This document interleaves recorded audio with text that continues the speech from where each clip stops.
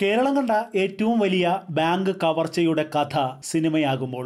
അതിലെ നായകനായി മോഹൻലാലും കവർച്ച നടത്തിയ പെരും കള്ളനായി ഫഹദ് ഫാസിലും അഭിനയിക്കുമെന്നാണ് പുതിയ വാർത്ത. രണ്ടായിരത്തി ഏഴ് ഡിസംബർ മുപ്പത്തൊന്നിനാണ് കേരള നാട് കണ്ട ഏറ്റവും വലിയ കവർച്ച നടക്കുന്നത്.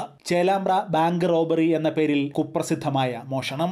മലപ്പുറം ജില്ലയിലെ ചേലാമ്പ്രയിലെ കേരള ഗ്രാമീൺ ബാങ്കിൽ നിന്നും എൺപത് കിലോ സ്വർണവും അൻപത് ലക്ഷം രൂപയുമാണ് അന്ന് മോഷണം പോയത്. ഇതിന് അന്നത്തെ മതിപ്പ് വില എൺപത് മില്യൺ രൂപയായിരുന്നു.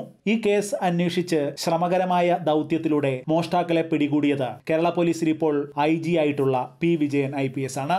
ഈ കേസും കുറ്റാന്വേഷണവും താമസിയാതെ സിനിമയാകുമെന്ന സൂചനയാണ് ഇപ്പോൾ വരുന്നത്. ചേലാമ്പ്ര ബാങ്ക് കവർച്ചയെ ആധാരമാക്കി നടനും പ്രശസ്ത എഴുത്തുകാരനുമായ അനിർബൻ ഭട്ടാചാര്യ എഴുതിയ ഇന്ത്യാസ് മണി ഹൈസ്റ്റ് എന്ന പുസ്തകം ഇന്ന് കൊച്ചി ലുലുമാളിൽ വെച്ച് മലയാളത്തിന്റെ അഭിമാന താരം മോഹൻലാൽ പ്രകാശനം ചെയ്തു.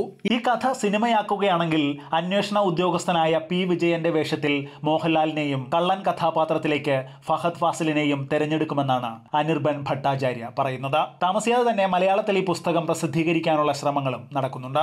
രണ്ടായിരത്തി ഏഴ് ഡിസംബർ മുപ്പതിന് രാത്രി മലപ്പുറത്തെ ചേലാമ്പ്രയിലെ സൗത്ത് മലബാർ ഗ്രാമീൺ ബാങ്കിന്റെ ചുവരുകൾക്ക് വലിയ ദ്വാരമുണ്ടാക്കി എൺപത് കിലോഗ്രാം സ്വർണവും അൻപത് ലക്ഷം രൂപയുമായി ഏതാണ്ട് എട്ട് കോടി രൂപയുടെ വസ്തുക്കൾ കവർച്ച ചെയ്യപ്പെട്ടു.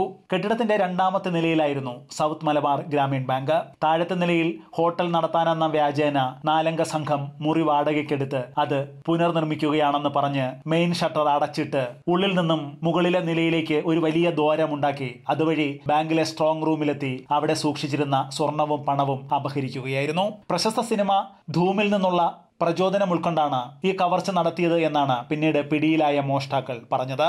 ഈ വിഷയത്തെക്കുറിച്ച് നിങ്ങൾക്കും പ്രതികരിക്കാം. നിങ്ങളുടെ കമന്റുകൾ ഈ വീഡിയോയ്ക്ക് താഴെ രേഖപ്പെടുത്തൂ.